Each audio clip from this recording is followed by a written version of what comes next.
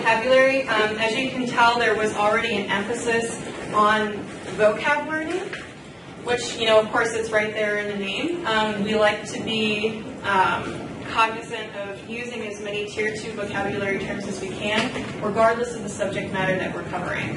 So we're going to cover those great tier three subject-based key terms that you all need for teaching social studies, but we're also going to weave in words like analyze or like another good tier significant yeah these these non-subject based key terms that are going to help your students improve their writing improve their level of expression and just make them more successful in high stakes testing situations in life etc so we like to call ourselves educational hip hop so what that means is we've got a full library of over 700 hip-hop music videos. Welcome. There are packets at the front and pens for you to take as well, and then just celery songs on the computer. We just started, so we didn't miss anything too important.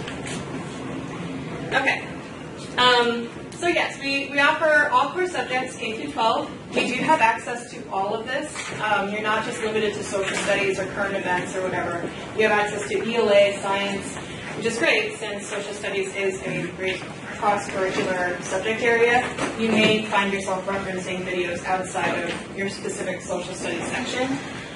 Um, in addition to the videos, which are kind of meant to engage your students and really hook them into the material, we have full activities and assessments to help students master the material as well.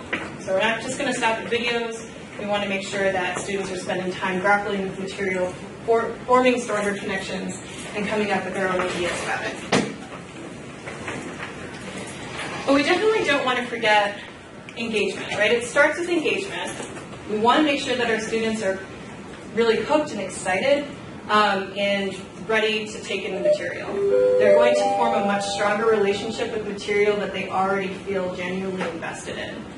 So that's why the videos are important, that's why we're really known for these really engaging, fun videos. And the hope is that if we pair that engagement with lots of tier two and tier three vocab instruction that it's going to pay off in terms of your students' literacy levels. Not only in the way that they um, maybe read and write, but also the way that they listen and the way that they speak. And the hope is that those that tier two approach is really going to pay off in terms of student achievement. So this is a summary of three independent studies took place in New York, Pennsylvania, and Alabama.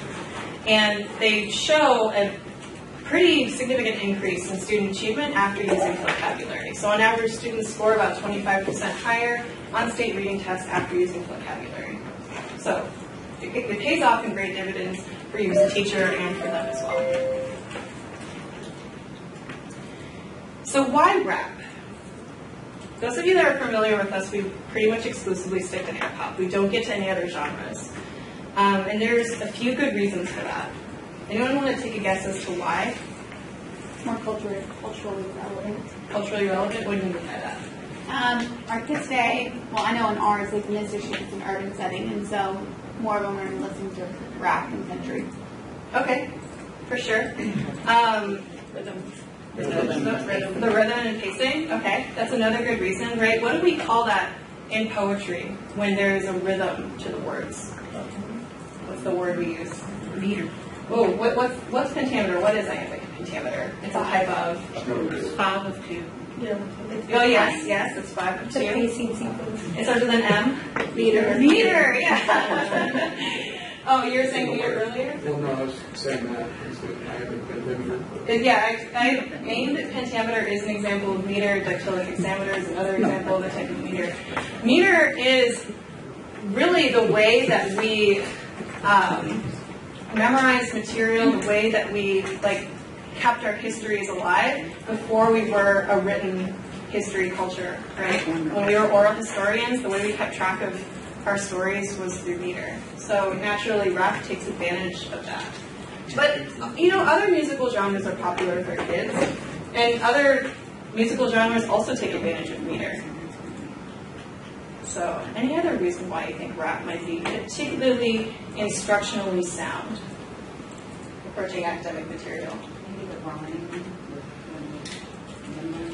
Yeah, rhyme has a, is a great mnemonic device, so it's rhythm and rhyme work in tandem to help our students remember material. language. But it's here, something over here. Energy, Energy? underneath it, something else. Language. Language. What do It's you mean by focused on language? language. Well, I guess the nature of it is, is the beat, but the beat is mixed with the wording and the, and the language that you use. As opposed to other kinds of music are really uh, about the music, the melody. about the instrumentation Right. of the melody. Yeah, you actually hit it right on right on the head. I was kind of like kind of fishing for it a little bit, but you know. All right, There you go. Yeah, so there's two reasons why we think rap is almost exclusively well suited for teaching instru- teaching academic content. The first one is just word count, pure word count. Hip hop leaves all other genres in the dust. So if you look at the second highest word count genre, I don't know if you can see it, it's heavy metal.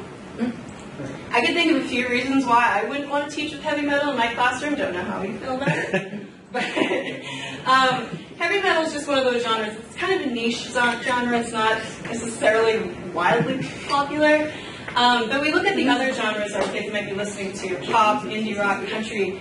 They're anywhere, anywhere from a third to half the number of words per song than hip hop. So that's one good reason, right?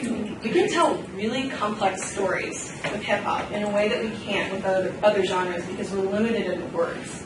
So complex stories, being able to really tell uh, nuanced, detailed stories, and this is obviously very important in social studies.